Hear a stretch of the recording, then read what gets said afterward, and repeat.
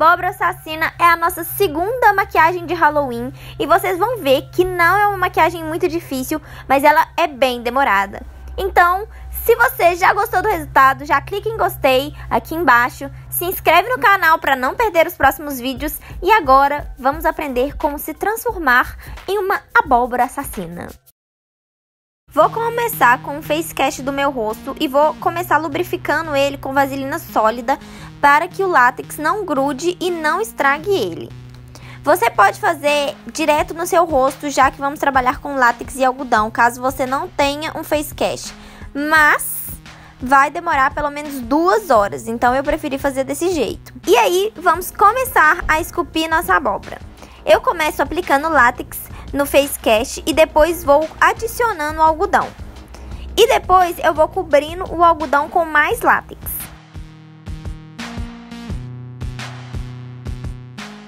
Aí eu vou criando o formato com a ajuda de uma espátula. Você pode criar o formato que você quiser. Eu quis criar uma abóbora com cara de mal, mas sem perder muitas características de uma abóbora mesmo pode ir fazendo devagar, sem pressa. É um pouco mais complicadinho mesmo, mas se você fizer devagarzinho, com calma, dá tudo certo.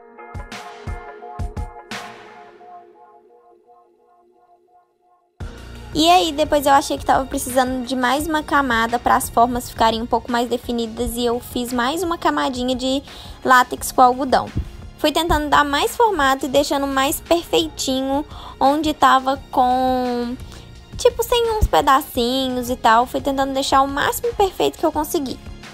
E agora é hora de colocar os dentinhos. E esses dentinhos eu fiz com um plástico polimorfo ou aquele plástico make. É a mesma coisa, mas você encontra com os dois nomes. E é muito legal e muito fácil de fazer. Fui colocando eles aí junto com látex e com algodão para fixar bem. E pronto, agora é só deixar ele descansar. Eu deixei por um dia para ele secar bem. Ele tem que estar tá bem sequinho. E aí fica assim, ele muda um pouco de cor, o látex muda um pouco de cor. E para tirar do facecast, tem que aplicar um pouquinho de ou pó translúcido, ou talco, ou qualquer pozinho fino. Eu apliquei talco de neném mesmo, só para ele não grudar. Aí você aplica o talco nele todo e depois começa a tirar por qualquer beiradinho que você consiga soltar. Vai com calma para não estragar o seu facecast ou a sua máscara. Depois eu fui cortando onde estava mais estragadinho, só para ficar mais fácil na hora de pintar. E depois eu já comecei a pintar, eu comecei com uma tinta laranja e pintei toda a nossa máscara com essa tinta. Menos os dentes, é claro.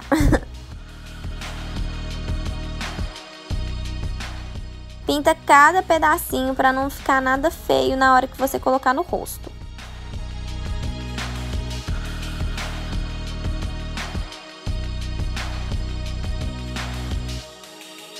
Ela vai ficar mais ou menos assim.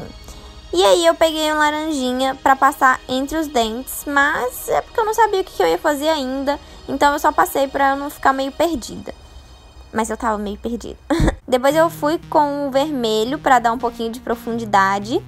E vai com calma, gente. Pinta aí, usa a sua criatividade, não tem certo e errado. Vai fazendo do jeito que você acha que vai ficar legal.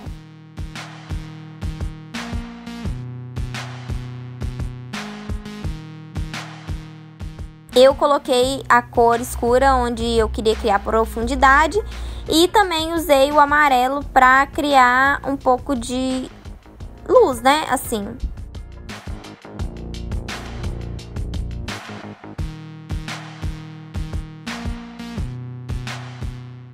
As cores que eu usei foi laranja, vermelho, amarelo, marrom e preto. Eu usei essas cinco cores para pintar essa minha abóbora.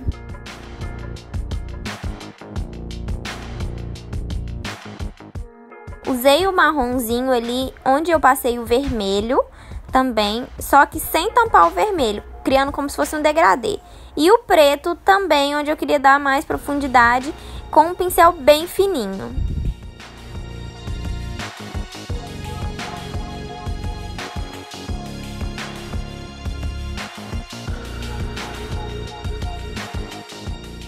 E depois eu pintei o dente com esmalte com extra brilho, só para dar um brilho maior nos dentinhos.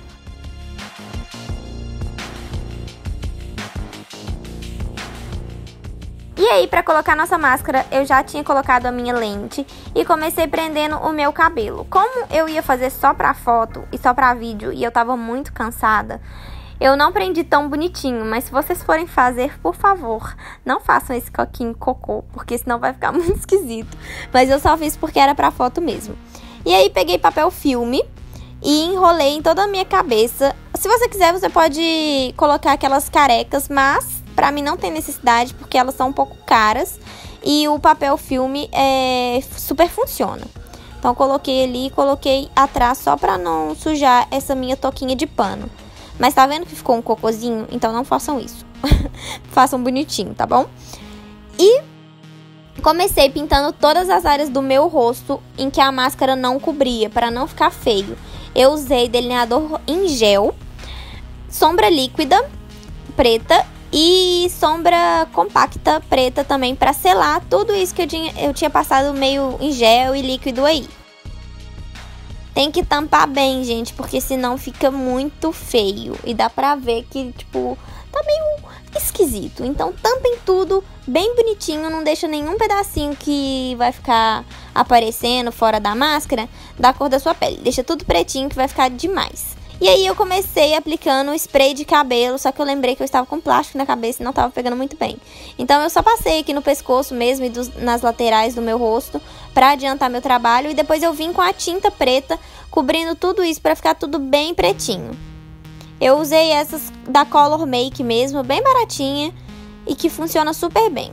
Como eu tava fazendo sozinha, vocês vão ver aí que atrás ficou um pouco sem, sem tinta. E aí eu usei para colar a máscara, aí ó, aí vocês conseguem ver. Mas eu usei para colar a máscara o verniz para postiços da Catarine Hill. E eu não sei se eu gostei muito desse produto, porque ele cola, mas ele não cola. Tipo, eu tô com ele até agora no meu rosto, porque ele não sai, mas ele não cola muito bem. Mas vocês podem usar o látex também. Eu só não usei porque eu tava com um pouco de alergia do látex no meu rosto. E para aplicar esse verniz, você vai aplicar no seu rosto e na máscara também. Então aplica bonitinho. Ele não solta, mas eu achei que nas laterais ele não colou muito bem.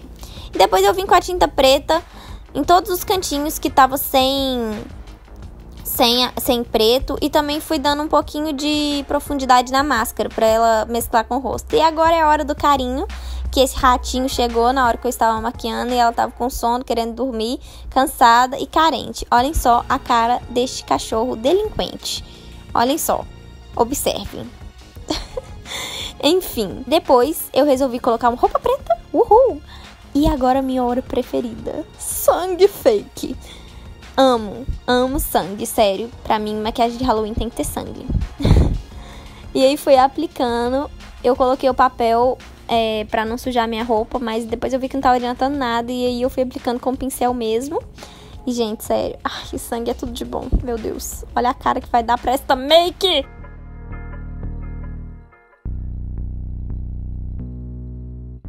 Ficou assim o resultado, sério. Olha que legal. Imagina se sair com isso de noite, na noite do Halloween. Sério. Assusta qualquer um, né? Mas achei que ficou muito legal, gostei muito do resultado. Eu espero que vocês tenham gostado. Se vocês gostaram, não esqueçam do like, se inscrevam no canal e um beijo e até o próximo vídeo.